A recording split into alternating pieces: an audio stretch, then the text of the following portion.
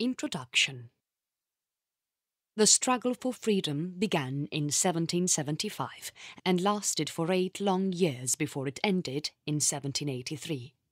In the struggle of the colonies against the British, the 13 colonies on the Atlantic seaboard of North America acquired their independence from Great Britain and became United States.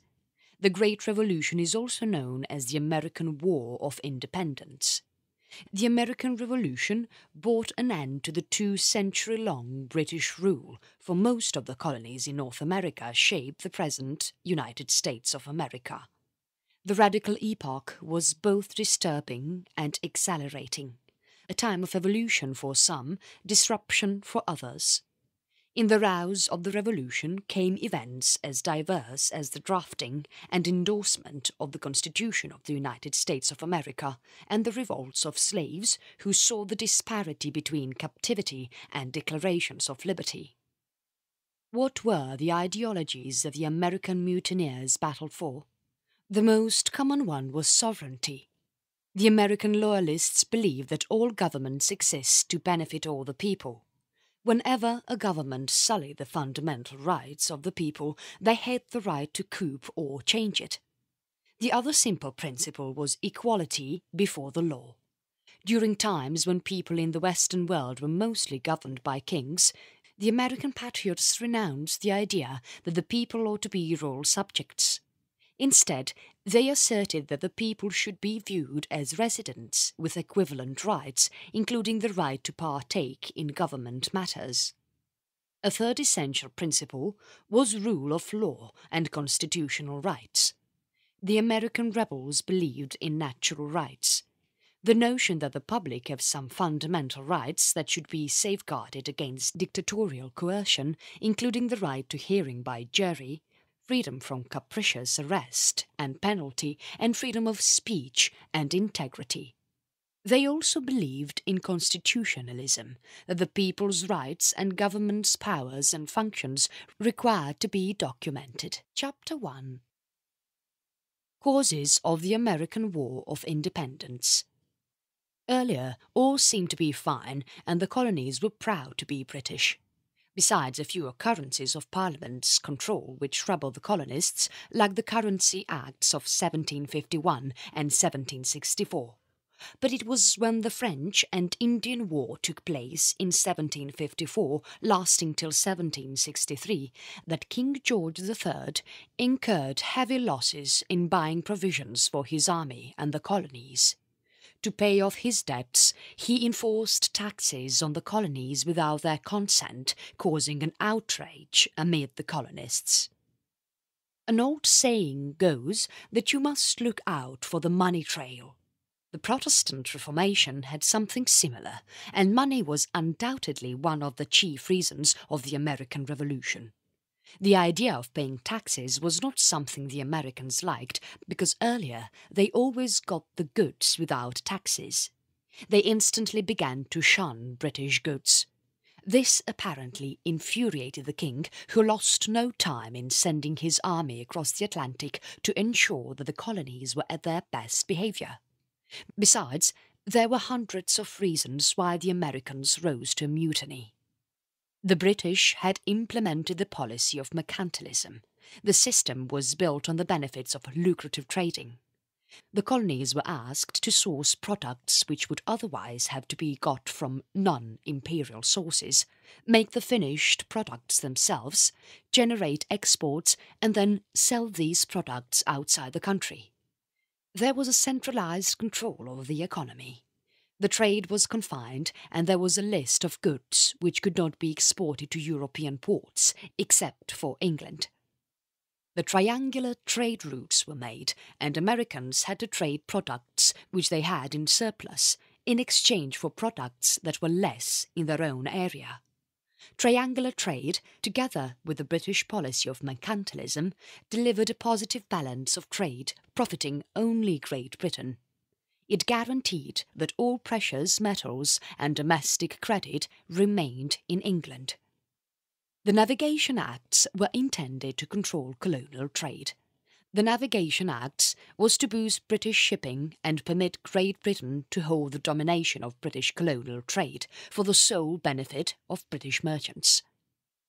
In 1689, English Bill of Rights stated that all the liberties and rights of an individual were protected by the English law.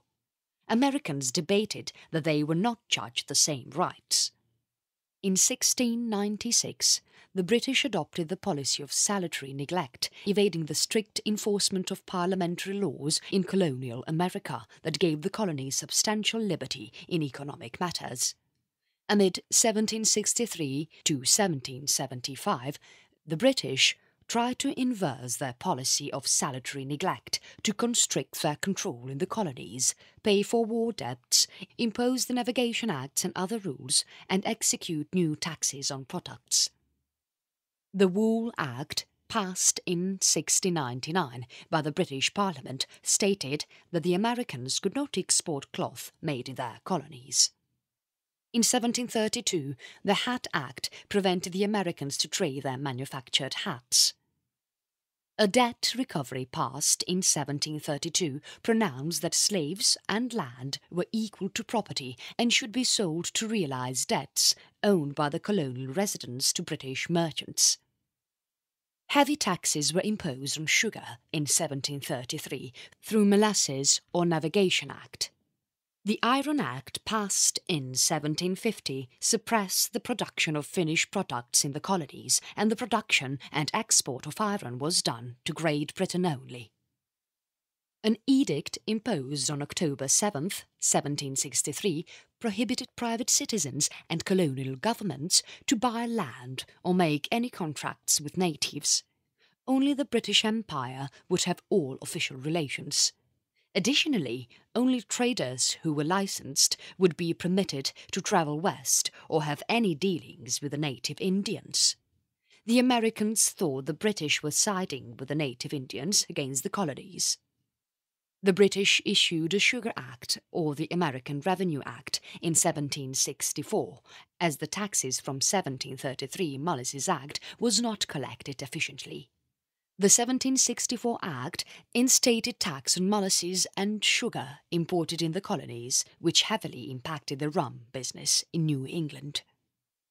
In the Boston boycott of August 1764, the traders and women of Boston refused to buy any British clothing like satin, ruffles and laces. On September 1, 1764, the Currency Act was passed, regulating depreciated paper currency of the colonies, which was used to pay the British traders and creditors. Stamp Act was passed on March 22, 1765, in which taxes were levied on newspapers, legal papers and pamphlets. Mayhem broke, which forced the British to annul the Act in 1766.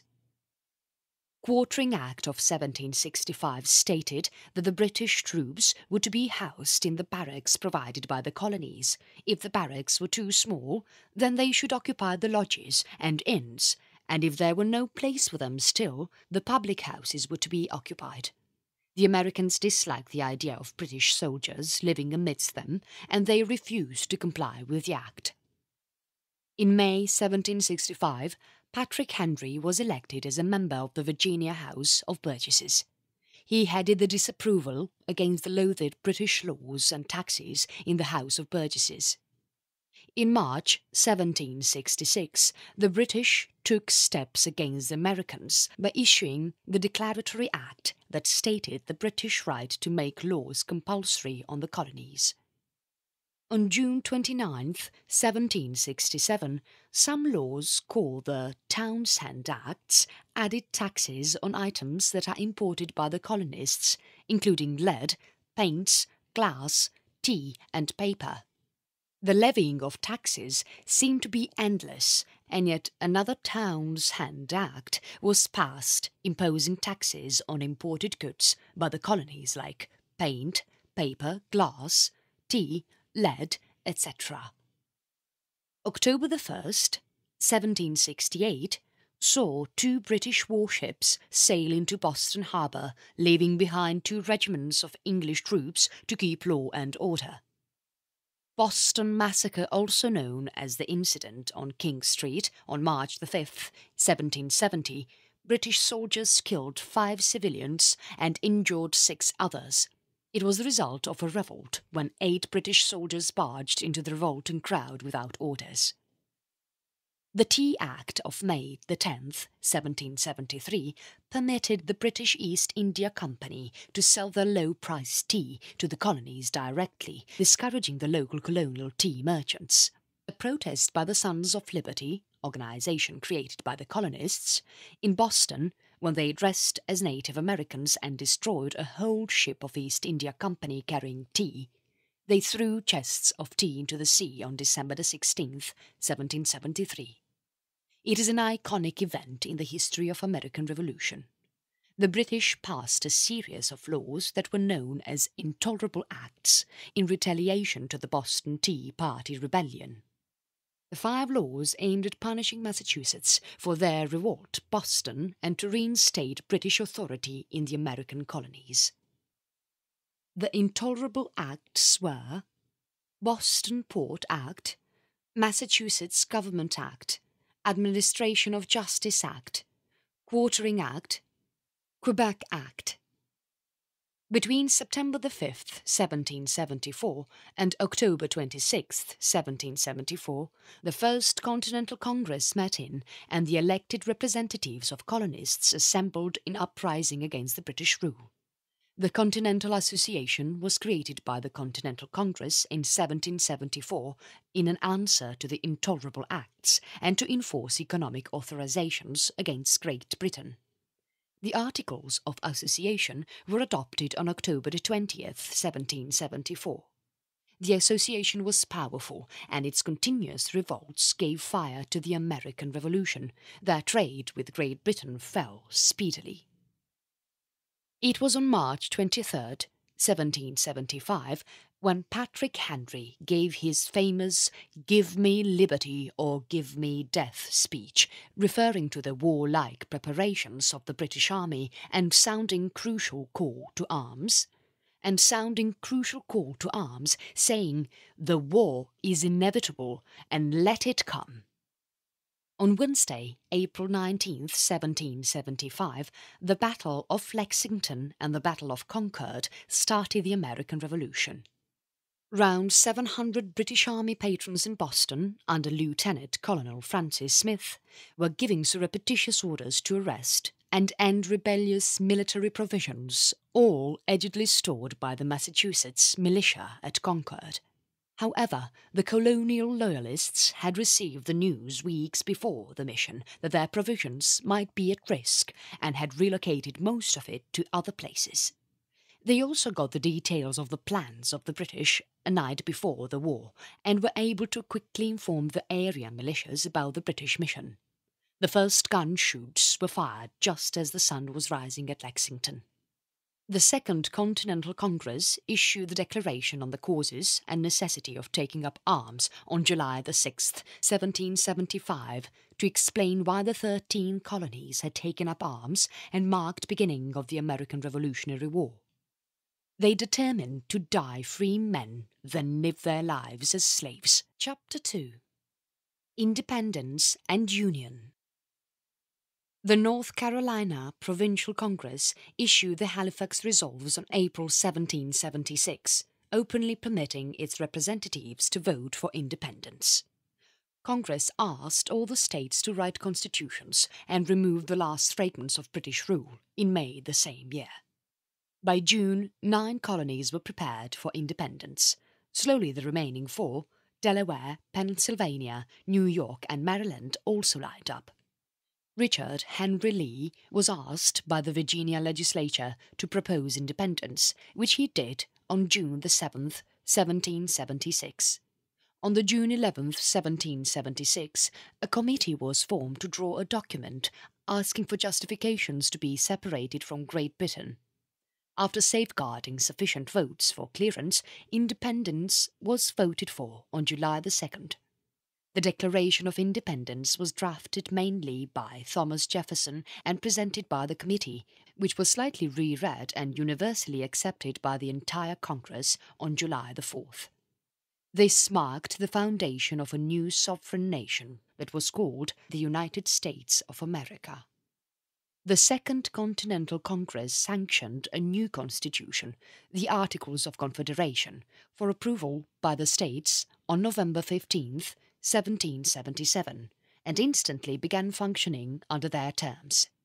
The articles were formally endorsed on March 1, 1781, and the Continental Congress was dissolved and was replaced by a new government of the United States of America in Congress assembled with Samuel Huntington as the presiding officer. Chapter 3 Protecting the Revolution It seemed that the Royal Army did not want to let go of their reign so easily. They tried to take over their rule between 1776 to 1777. British return 1776 to 1777. As per the British historian Jeremy Black, the British had substantial leads with the world's largest navy, exceedingly trained army, and an extremely competent system of public finance which could effortlessly fund the war. But the British were utterly handicapped and misinterpreted the complexity of backing for the Patriot position. Disregarding the guidance of General Gage, they misjudged the situation to simply be a big revolt. London thought by directing a big military and naval force they could subdue the Americans and force them to loyalty. Convinced that the revolution was the work of some troublemakers who had united an armed mob to their cause, they anticipated that the rebels would be daunted. Then the massive majority of Americans, who were loyal but scared by the terroristic strategies, would upsurge and kick out the protesters and reinstate a loyal government in every colony. When Washington forced the British Army out of Boston in 1776, neither the Army's loyalists nor British controlled any important areas. Nonetheless, the British were gathering armies at their marine base at Nova Scotia, Halifax. They returned with forces in July 1776, arriving in New York and overpowering Washington's Continental Army at the Battle of Brooklyn. After they won the Battle of Brooklyn, the British entreated a meeting with councils from Congress to discuss an end to conflicts. John Adams and Benjamin Franklin and some other delegates met Howe on Staten Island in New York Harbour on September the 11th, which came to be known as the Staten Island Peace Conference. Howe necessitated a withdrawal of the Declaration of Independence, which was denied, ending all discussions. The British then hastily clutched New York City and almost captured Washington's army. They made New York their political and military hub of operations in North America till November 1783 the city became a terminus for Loyalist refugees and a principal point of Washington's intellect network. The British also seized New Jersey, driving the Continental Army to Pennsylvania. In 1776, the British Army was taken by a surprise attack when Washington defeated Hessian and British regiments at Princeton and Trenton, thus retrieving control over most parts of New Jersey. The victory was a lift to the fading morale of the Patriots. The British strategized again in 1777 and to end the war they sent their forces from Canada to block New England, which the British professed as main source of campaigners. However, there was a big misunderstanding and the army went to Philadelphia. The army was headed by Burgoyne, who hopelessly waited for reinforcements from New York and was trapped in northern New York. They laid down their arms after the Battle of Saratoga in October 1777.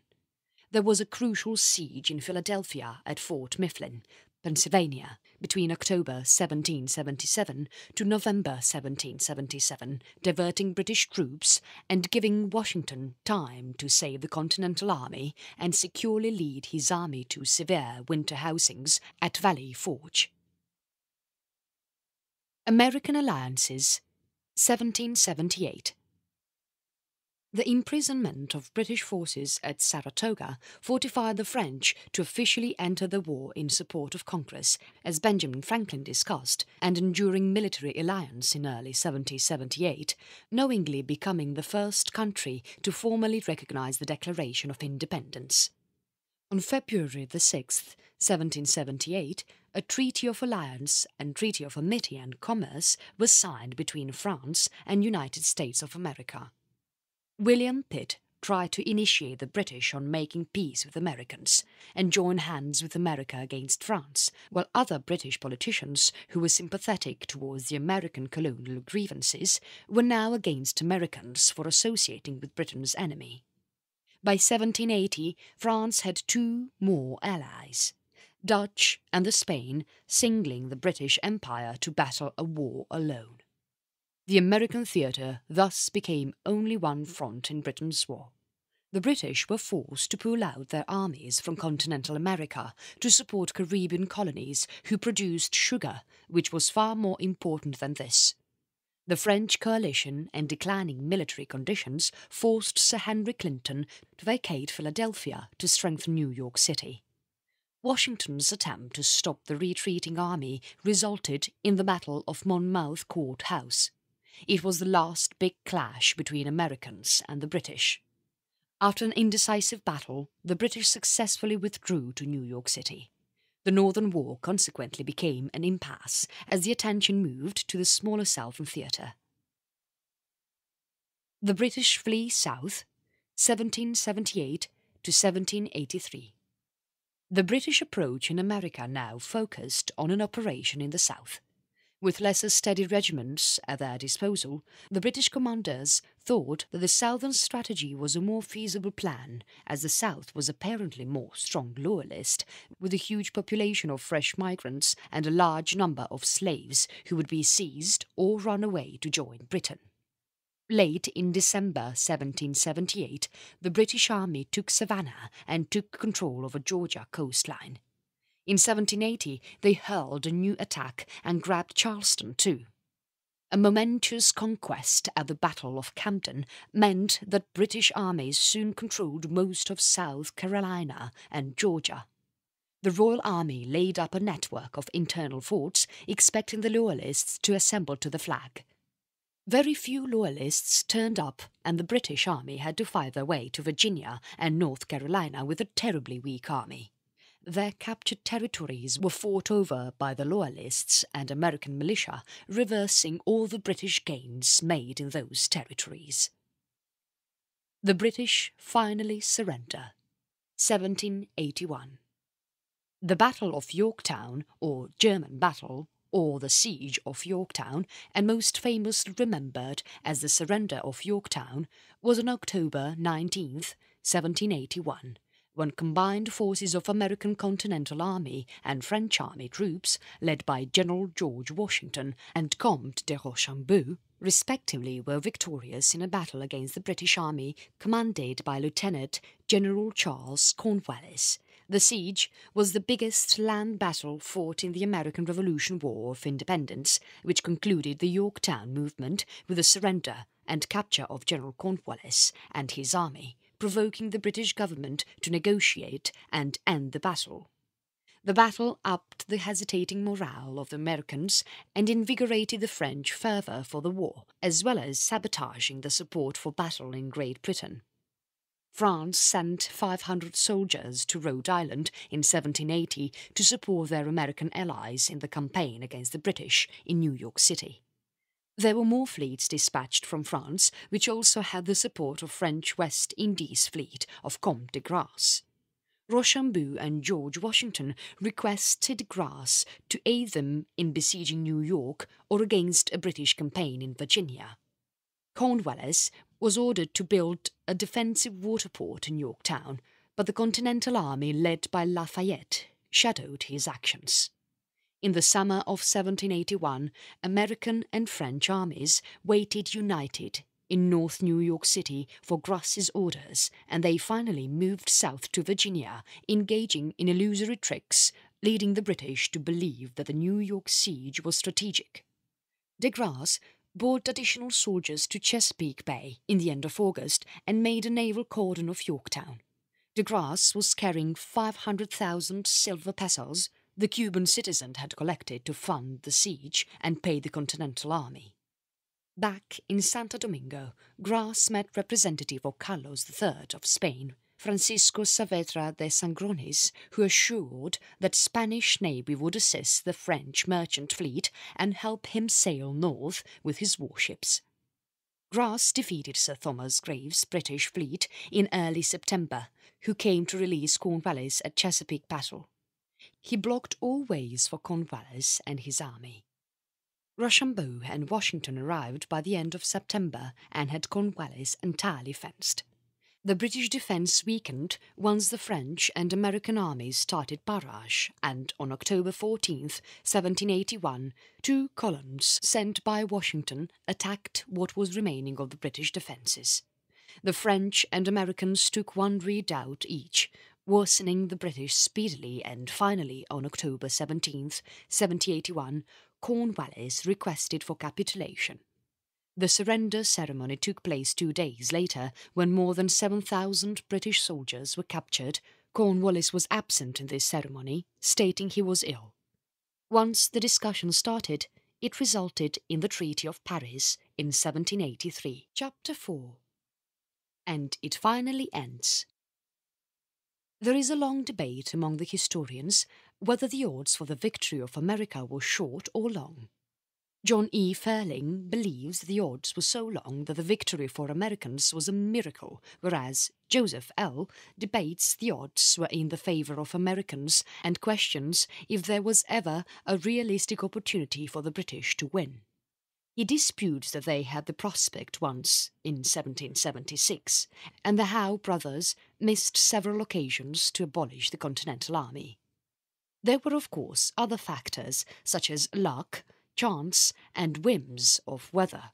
His point is that the Howes were disastrously flawed as they underrated the challenges faced by patriots.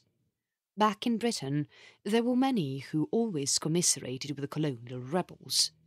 King George wanted to continue the war, but he did not get any financial help from the Parliament. The Parliament of Great Britain had never expected the war to last so long. They had already raised the taxes exceedingly high to pay for the war. The English Parliament was also concerned about the colonies' association with the French. It would affect their trade with America, which was quite lucrative for the British. In March 1782, the Parliament said all those who advised or attempted any further action of belligerent conflict on North America would be considered to be the enemies to His Majesty and the country. Washington was not convinced that Yorktown would be the end of the war. It was only when he saw General Sir Guy Carleton move out with his troops assured him that the war had come to an end. In the summer of 1782, the representatives of the colonies, Benjamin Franklin, John Adams and John Jay, negotiated with the English ambassadors in Paris. Both parties reached to an agreement and how it was the turn of the British envoys to enlighten King George III. The English also had to make peace with the Spanish and the French before the pact could be signed. In February 1783, George III eventually gave his proclamation of cessation of hostilities that opened the gates for a peace treaty among English and the American colonies. Benjamin Franklin and John Jay signed the Paris Peace Treaty on September 3, 1783 in Paris.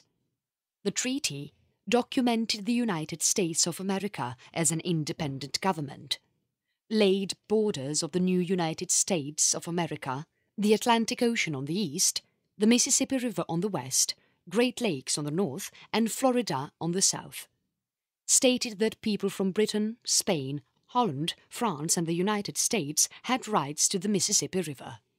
Affirmed fishing rights off the Newfoundland coast. Gave back the property and rights to the Loyalists who wished to stay back in the colonies.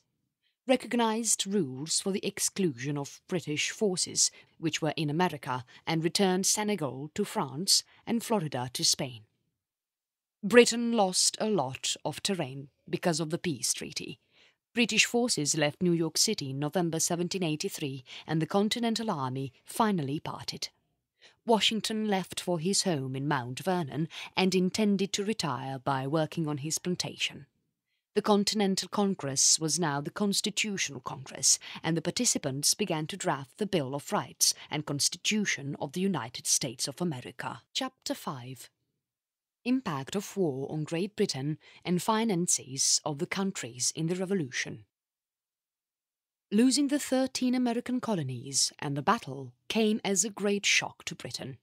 The battle exposed the boundaries of Britain's fiscal military state when it was powerful enemies on its face with no associates and reliant on protracted and susceptible transatlantic lines of communication. The defeat intensified opposition and spiraled political resentment to the ministers of the king. Within the parliament, the main problem changed from fears of a mighty ruler to the issues of representation, government cutback, and parliamentary alteration. Reformers pursued to finish what they saw as pervasive institutional corruption. The outcome was a great crisis from 1776 to 1783 the treaty in 1783 left France financially drained, whereas the British economy flourished with the return of American business. The crunch ended after 1784 because of the king's astuteness in outsmarting Charles James Fox, the leader of the Fox North coalition, and rehabilitated assurance in the system provoked by the headship of William Pitt, the new prime minister. Historians say that the loss of the American colonies facilitated the British to handle the French Revolution in a more organised and harmonious way. Britain took course to Asia, the Pacific, and later on Africa, with ensuing exploration leading to the upsurge of the Second British Empire. Finance Their war against the French, Americans, and the Spanish cost the British dearly, which amounted to around 100 million pounds. Chunks of money just vanished against the funding of war and brought France on the brink of being bankrupt and revolt in comparison to Britain, who was in a less problematic situation in maintaining and hiring soldiers. Britain had an urbane monetary system grounded on the fortune of many of landowners, who sustained the government collectively with finances and banks in London. The competent British tax system gathered about 12% of the GDP in the form of taxes in the 1770s. In contrast, the Congress and the American states had no finish to the hitches of financing the war. In 1775, there was around $12 million in gold in the colonies, which was not sufficient for the present transactions, leave alone funding a huge war. The British worsened the situations by blocking every American port, cutting off almost all its exports and imports, making them dependent on donations from citizens and militiamen. The actual payments of the soldiers were delayed, and the suppliers and soldiers were paid in depreciated currency, with promises to be paid well in land grants against the wages they earned. The weak system continued till the government had a strong financial leader in the form of Robert Morris, who was made Superintendent of Finance of the United States of America in 1781. In 1782, Morris used a French loan and set up the Private Bank of North America to fund the rebel. Looking for more competence, Morris condensed the civil list and saved money by reasonable bids for contracts, stiffened bookkeeping system, and necessitated that the national governments give them full portion of supplies and money from the Allied states. The Congress mainly used four ways to cover the war cost, about $66 million in gold and silver. They issued paper money twice, the first one went to $242 million. It was supposed to be exchanged for state taxes. The paper holders were later on paid off in 1791 at the rate of one cent per dollar. The steeply rising inflation came down too hard on some people who had fixed incomes, but 90% of the citizens were farmers and were not straight affected by the inflation. Borrowers profited by clearing their debts with depreciated paper money. The heaviest burden was tolerated by the soldiers of the Continental Army, whose wages normally came in arrears and waned in value month after month, flagging their morale and adding to the adversities of their families. In 1777, Congress continuously requested the states to give money, but they did not have a proper taxation system in place either and were of no help. By 1780, Congress was making explicit demands for supplies of beef, corn, pork, and other provisions which barely kept the army going. Congress pursued to raise money by credits from prosperous people and promised to convert the bonds after the war in 1776. Congress kept their promise and the bonds were redeemed in 1791 at their face value, but the campaign raised very less money, as Americans had little silver and gold, and most of the rich merchants supported of the British. In 1776, France covertly gave the Americans money, munitions, and gunpowder to weaken Britain, which was its biggest enemy. When France formally joined the war in 1778, the grants continued. The government of France and the bankers in Amsterdam and Paris lent huge amounts towards the American Revolution. The loans were repaid in full by the United States of America in the 1790s. Chapter 6 Concluding the Revolution. A Better Union and Guaranteed Rights. Once the war finally ended in 1783, there was an era of richness. The national government, still operated under the Articles of Confederation, was able to resolve the problem of the Western territories that were yielded by the states to Congress. American settlers stirred quickly to those areas, with Kentucky, Vermont, and Tennessee becoming states in the 1790s the government was neither able to pay back the debts of the war that they owed to the private banks and European nations, not to the Americans who gave millions of dollars of promissory notes to fund the revolution.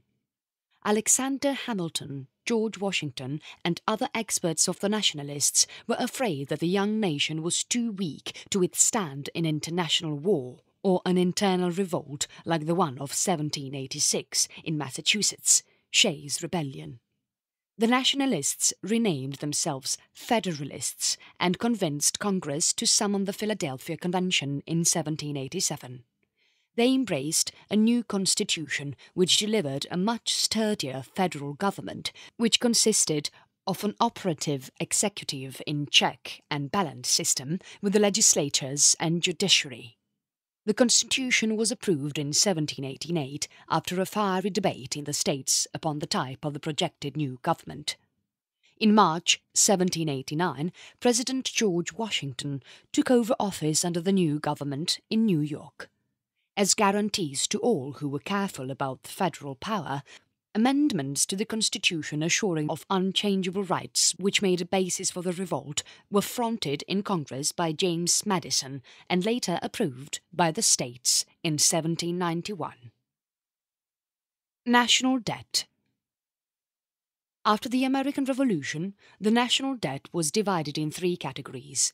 The first was the $12 million payable to other countries, mostly money taken as loan from France there was a universal arrangement to pay the external debts at full value. The state government owed around $25 million and national government owed $40 million to American citizens who sold supplies, food and horses to the rebellion forces. There were other debts, which comprised of promissory notes given in the Revolution to the merchants, farmers, soldiers and farmers who took these payments on the condition that the new constitution would form a government who would ultimately pay off these debts. The expense of war for a state singly added up to around $114 million in comparison to the $37 million by central government.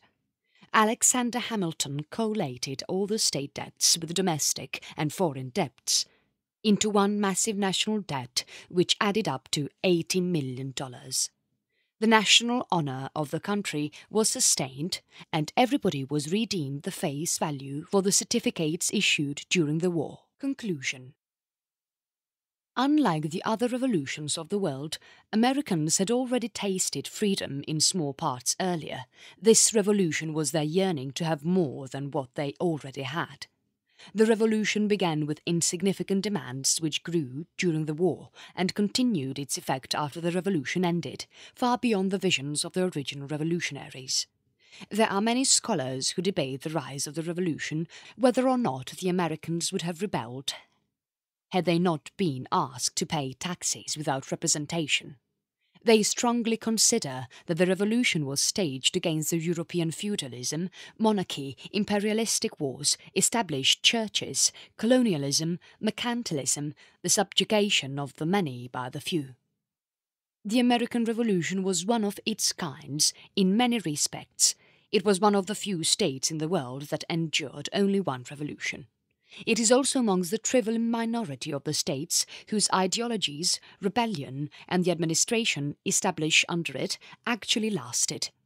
An abrupt modification in the structure of the government implicates a revolt. And the government that succeeded in the late 1700s was very diverse from its English predecessor. The public of America and the people of Great Britain vision authority, and thus government in discrete terms. This is because of the speckled understandings and points of view of the American and the English towards their government. In variance to the big revolutions that have marked the 20th century, the American Revolution was successful in achieving what it set out to do to provide men more freedom than they had possessed earlier. At this time, America has set itself apart from the rest of the countries in the world through many breakthroughs in different industries. Starting from the much wide Silicon Valley to the splendor of the Pentagon, the United States of America is a lot more than what the revolutionaries may have imagined. This only shows the fervour with which America grew since the revolution. There was no stopping and no looking back. Americans have chosen to move ahead in all walks of life and prove that the revolutionaries have created a country that is stronger than ever before. The American Revolution is an example of determination and hope. They set an example for the world in many ways, and America continues to build on the standards set by the revolutionaries as they embrace the many new ways of the world.